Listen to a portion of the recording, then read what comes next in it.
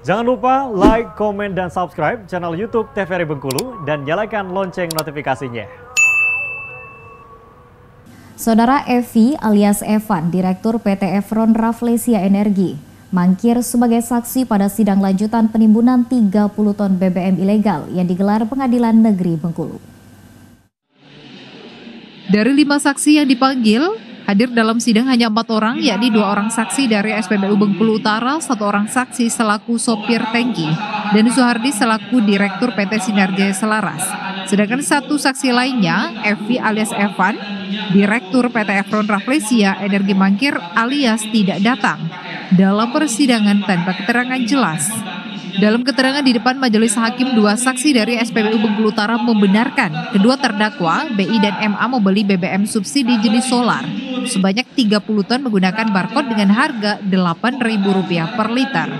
Usai mendengarkan keterangan para saksi, JPU Pidum Kejati Bengkulu Zainal Effendi mengatakan apa yang dilakukan kedua terdakwa jelas melanggar pasal 55 Undang-Undang RI nomor 22 tahun 2001 tentang minyak dan gas bumi.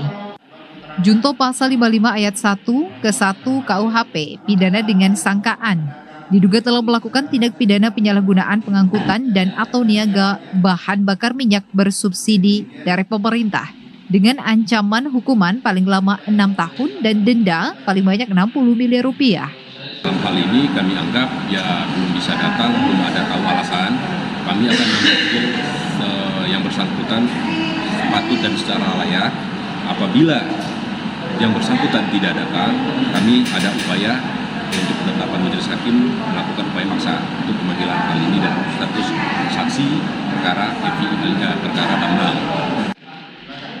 Tim Liputan TVRI Bengkulu melaporkan.